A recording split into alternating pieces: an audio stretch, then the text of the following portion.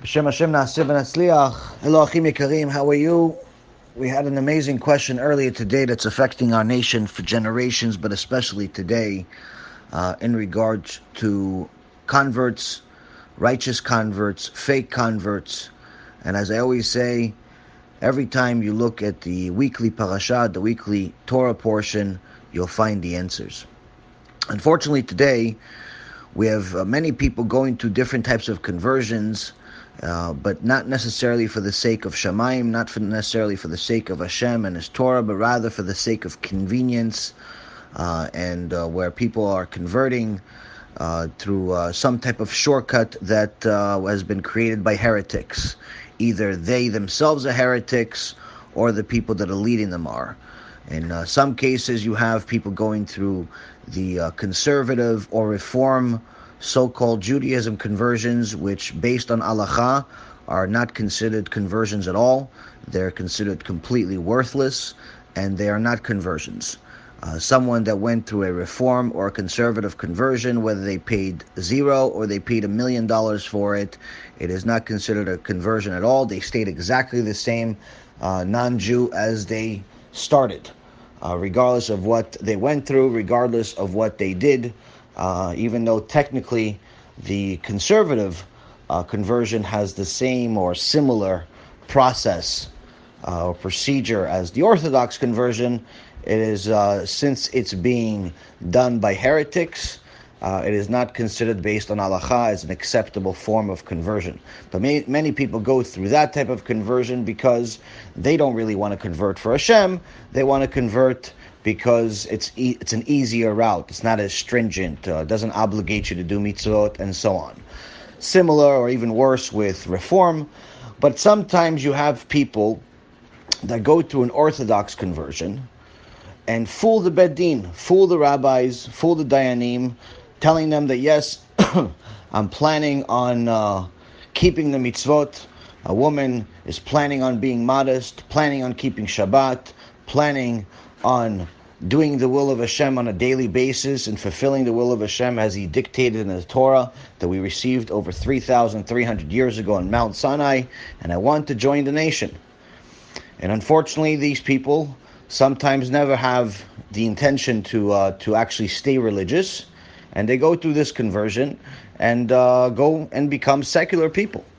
In other cases, you actually have, you know, fake rabbis that actually tell people that they could convert through this conservative or reform, and that's the right way, or they think that's the modern way, so-called modern way, and they fool people to believe that they're actually converting, when in reality, as we just discussed, these are not conversions at all.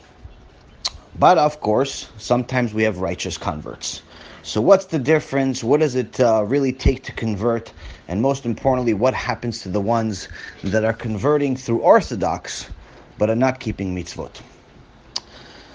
So, the Torah says in the Shulchan Aruch, which is the critical part of the um, oral Torah, also something that we received at Mount Sinai. As a matter of fact, some parts of the oral Torah we received since Adam, and even Noah had it, and Avraham, Yitzchak, and Yaakov had it. The oral Torah gives us the explanation of all of the mitzvot. In the days past, when people were a little less wicked than what they are today, or a lot less wicked than they are today, but still, nonetheless, there were still wicked people. When someone would come to the Bet Din, would come to the rabbis and say that they want to convert. In Yoreh De'ah, Res Samechet, Halachot Gerim, it says, כשבא להתגייר, אומרים לו, מה ראית שבאת להתגייר, אם אתה יודע שישראל בזמן הזה דחופים, סחופים ומטורפים, וייסורים באים עליהם. אם אמר יודע אני ואיני כדאי להתחבר עמהם, מקבלים אותו מיד. So this is in יורה דעה 200, um, actually section B, and it uh, in regards to the halachot of gerim. And uh, here it says that if someone comes to the rabbis and says, "I want to convert," they tell him, "Listen, we, you know, you know that at this time, Am Yisrael is being chased, it's being killed, it's being tortured. What made you uh, want to join us? Because in essence, if right now the way you live, if you light fire on Shabbat, nothing happens. It's a, you're allowed. If you want to eat pig, enjoy. If you want to eat shrimp, enjoy. You, there's no there's no obligation on you. All you have to do is keep the seven laws of Noah. But if you convert, not only are you going to be obligated to keep Shabbat, as the halacha says, you're not allowed to drive to Shabbat, even if it's the Beit Knesset. You're not allowed to eat shrimp ever. You're not allowed to eat anything non-kosher, which obviously includes pig, one of the four animals specifically mentioned in the Torah that were not that has one sign out of the two signs that a kosher animal has, but it's only there to test us. It's only one of the two signs. It has to have two signs in order to be kosher. But if you eat pig, right now as a goy, right now as a non-Jew, you're allowed. But if you become Jewish, Shem you get punished severely. Why would you do that? And on top of all these stringencies that you're adding to your life, all of these laws, you your wife has to dress a certain way, act a certain way, say certain prayers. You yourself have to wake up very early in the morning where it doesn't matter what time you went to sleep at night and you have to wake up in the morning and late tefillin. On top of putting all these stringencies, you're also going to be part of a nation that's being chased, that's being tortured, that's pogroms and holocausts. Why would you want to do it? If the non Jew would have said at that time, yes, that's the nation I want to be a part of, they accept them on the spot. On the spot. Why? Because someone that's consciously making this decision obviously is a righteous person and is someone that wants to do the will of Hashem.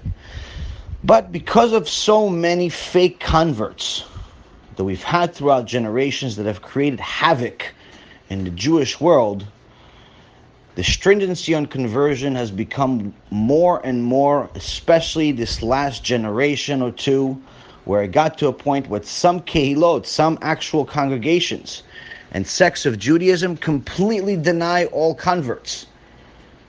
Now, if you look at the Torah, the special protection and special deal that Hashem gives to a righteous convert, not any convert, but a righteous convert, is mentioned more times in the Torah and it actually considers him even or her more a higher level than a natural born Jew. So how could a kehilah reject someone like this? How could a people not you know make it more difficult for people to convert? And the reason for that is because it's due to those wicked people that were fake converts, the ones that said that they want to convert through the Orthodox way in order to fulfill the will of Hashem, but in reality, in the back of their mind, they knew all along that they did not want to do any of that. They just wanted to convert so they could marry the guy, so the guy could buy them a new house and you know uh, share his wealth with them, or they could just be with the guy. And because his parents are forcing him to only marry a Jew, they even though they themselves are not exactly religious, they want the son to marry a Jew, and he goes through this breezy process of converting. And the reality of it is that day one after the wedding, they be, go back to going to the beach on Shabbat, or the, you know going to the mixed beach at all, eating whatever they want, acting like whatever they want, and completely ignoring the Torah and the mitzvot that this convert was supposed to do. So first and foremost, we need to understand this if someone goes through, you know, obviously excluding the conservative and reform, which are never considered anything. So we're going through the orthodox way. If someone goes to, whether a woman or a man goes to a righteous orthodox bet din, an acceptable bet din, not just anyone, but an acceptable bet din that's known around the world, and fools them fools them to tell them that yes, I'm going to keep all these mitzvot, but in reality, in the back of their mind, they're thinking I'm never going to keep any of these mitzvot. These are not relevant to me. I just want to go through this process and get it over with. That person, you know, part of the conversion would be dipping, you know, answering questions, which anyone can. It just requires some knowledge, which you could attain. But the actual belief, no one will ever know if you have it or not, other than Hashem and yourself. So part of the process after you pass the test is to dip in a mikveh. And spiritually, what happens to a righteous person when they dip in the mikveh is they actually receive a new soul. Mamash, a new soul, an actual real soul, a holy soul, of part of Am Yisrael, a significant soul, the most special soul in the world, if they're a righteous convert, if they already plan to not keep anything or not keep some things even, where the woman has said, Oh, yeah, I'm going to convert, but I'm not going to be modest. Oh, yeah, I'm going to convert, but kosher is not for me. Or any of those, or Shabbat is not for me. No soul comes down. They could dip into the mikveh, and from now until the moon comes back here to visit us, and it could turn into a, a green color, and it still will never happen. Why? Because Hashem knows your heart as we say, as part of our 13 principles of faith that the Rambam wrote for us and elaborated on, one of the major things that one has to believe is that Hashem knows what's in your heart. He knows what you think, He knows what you feel. Which obviously means that anyone that dipped into the mikveh knowing that they're not going to keep anything, they already are a heretic before they came in. Which means that Hashem will not gift you that precious soul. They go in there Christina and they come out Christina. They go there as Mikey and they come out Mikey. Why? Because Hashem knows what's in your heart. That conversion is completely not valid. You could fool the people around you. You could even fool the righteous rabbis that believed you. But you cannot fool Hashem. So those people are not considered converts at all. If it's the next day you see them going back to their life, you see that's not a righteous conversion, those children that come out of that woman that's uh, you know that was that tried fooling everyone are not considered Jewish at all, uh, in any way, shape, or form. And as a matter of fact, she has put herself and this husband of hers into a horrendous situation where it's now called intermarriage. The same thing they tried fooling everyone by saying they're trying to avoid it by conversion, they're actually performing it. And the punishment for intermarriage intermarriage is karet. It's the worst possible punishment in Judaism, cut off from the nation, both for her, the fake convert, and for him, the Jew that didn't really care enough to make sure that she's a righteous convert. They're both cut off, cutting their life in this world shorter. Also, the Zohar Kadosh, which is also a critical part of the oral Torah, says that they're assured to lose their money, their sense of being, and obviously their share of the world to come. This is a very, very critical sin that they're performing intermarriage at this point and also putting their children on the line where their children could actually die because of this. This is pure stupidity for anyone who does it because somehow they think they could f- fool Hashem. Now, on the other hand, if someone goes in there with righteous intentions, they plan on being religious, but somewhere along the way, just like it happens to, unfortunately, unfortunately, many Jews, natural born Jews, somewhere along the way, they stop keeping mitzvot, they start violating Shabbat, they uh, stop keeping kosher, and things of that nature. They fall off the derech, is what we call it. They fall off the right path. But they started off the right way. Then the conversion that they originally did is still valid. It's 100%. It went through. Once you're a Jew, you cannot undo it. You cannot do a conversion, then undo it. Even if a Jew converts or thinks they are trying to convert to Christianity or any other form of idol worship, they still remain a Jew, just that their status in Am Yisrael is on suspension. But they're still a Jew nonetheless and will be punished as a Jew. So a person that converts with right intentions will get this soul and just becomes a wicked Jew. This is a really big problem. But again, the original conversion is still valid. The children are still Jewish, and Be'ezrat Hashem, the children at least will be uh, will be righteous one day, and hopefully the parents will do tshuva. So this is the case when it comes to original intentions, because again, Hashem knows your heart; He knows what's in it. Now, the whole key of conversion and what we learn in this parasha, and Parashat Shelach, we know that Moses sent the Meraglim, sent the spies to the uh, uh, land of Canaan, which is later to be called Israel, to see what's there. They wanted to check it out. He really didn't want to send them, but nonetheless, they pushed and pushed and they got their way. And we know what happened in this parasha, where since they reported bad things on the uh, on the land, 10 out of the 12 spies were killed instantly with a plague by Hashem, and the rest of the nation was punished to be in the desert and die in the desert over the next 40 years. The only two spies that were righteous were Joshua and Caleb.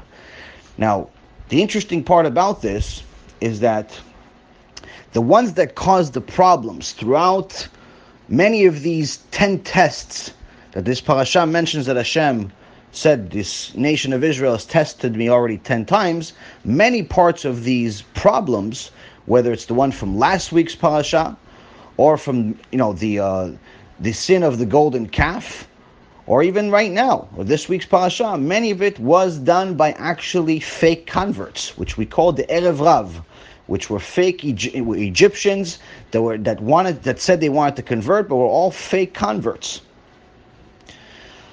And this caused a lot of problems. But nonetheless, later on in the Torah, in the Tanakh, in the book of Joshua, we see that Joshua, once he became a leader, also went on another trip, became a spy again. Even though he was a leader himself, he became a spy again to go scout out the land. And over there,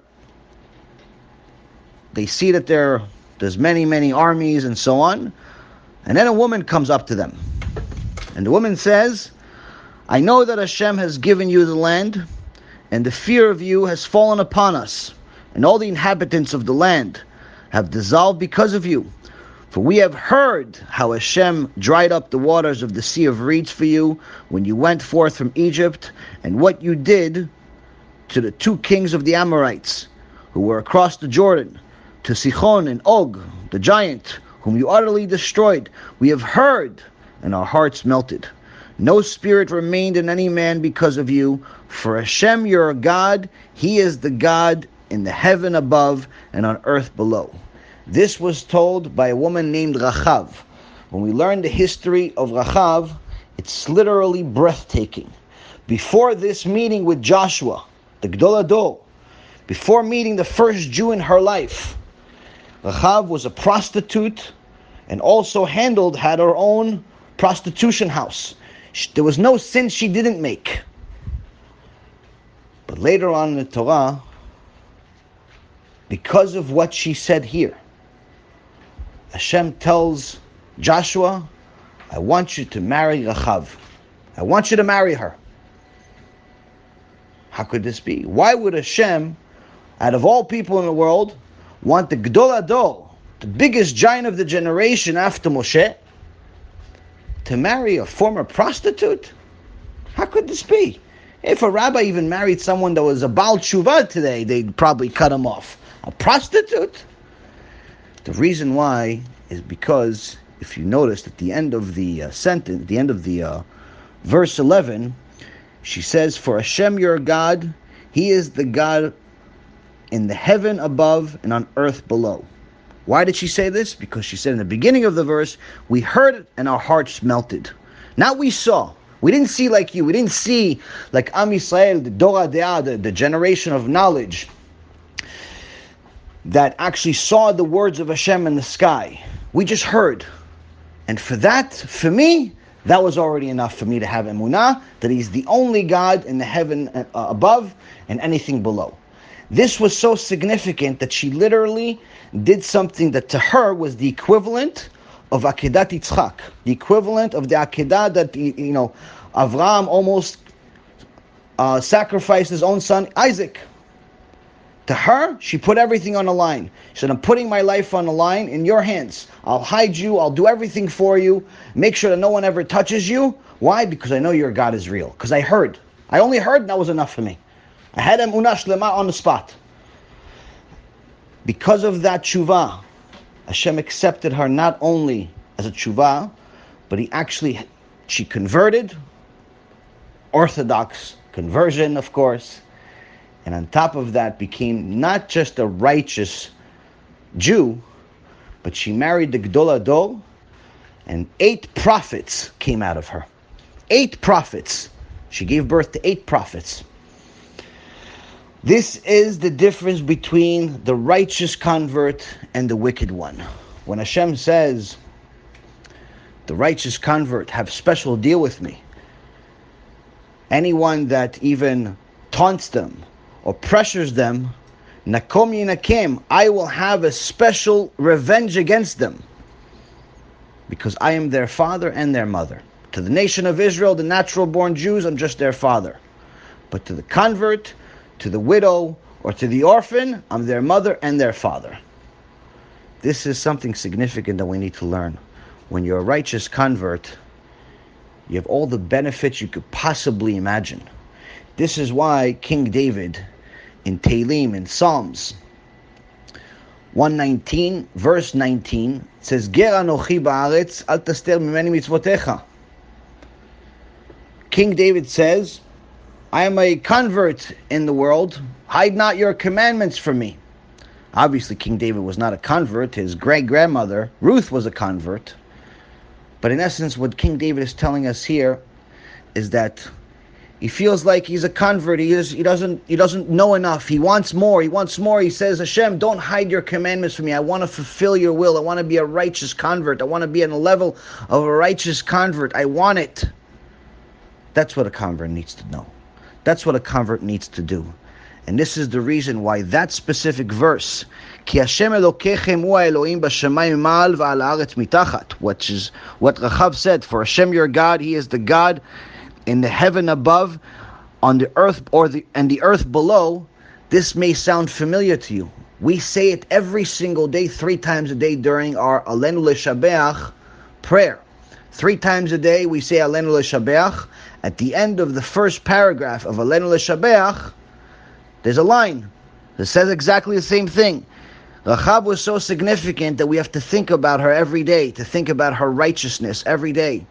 That there is no other God, not above, not below, there's nothing. If you're going to convert, do yourself a favor and be a righteous convert because your reward is endless. Whereas if you're a fake convert, your punishment and your spouse's punishment is also endless. And this is one of the major things that we need to understand. As for those that think that just because of this woman that's a fake convert, because of this fake man, that's a, uh, this man that was a fake convert, Am Yisrael lost a potential spouse, that's completely false. Because everything that happens in this world, that means Hashem signs off on it. Which means that if a Jew was supposed to get a spouse, they're going to get a spouse. Hashem is not you know, he's not running out of people. He can find them a spouse, which means that anyone who does not have a spouse is because Hashem says you're not ready for one yet. But nonetheless, the problem here is not for that person doesn't have a spouse. The problem is for one that has one. The one that has a spouse, but unfortunately, that spouse is not really Jewish, and they're putting themselves on the line.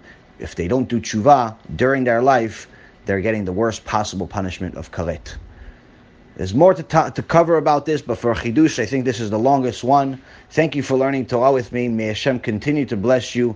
Join our WhatsApp groups. We have many of them. Join our Facebook groups where there's thousands and thousands of people listening every day to the Shuret Torah that we have, the CDs. Everything is really going out there. And the ones that are seeking Hashem, just like it says in the book of Deuteronomy, chapter 4, if you look for me, with all of your heart and all of your soul, you'll find me.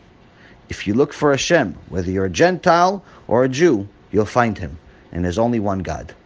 Kol Tuv, and may Hashem continue to bless you.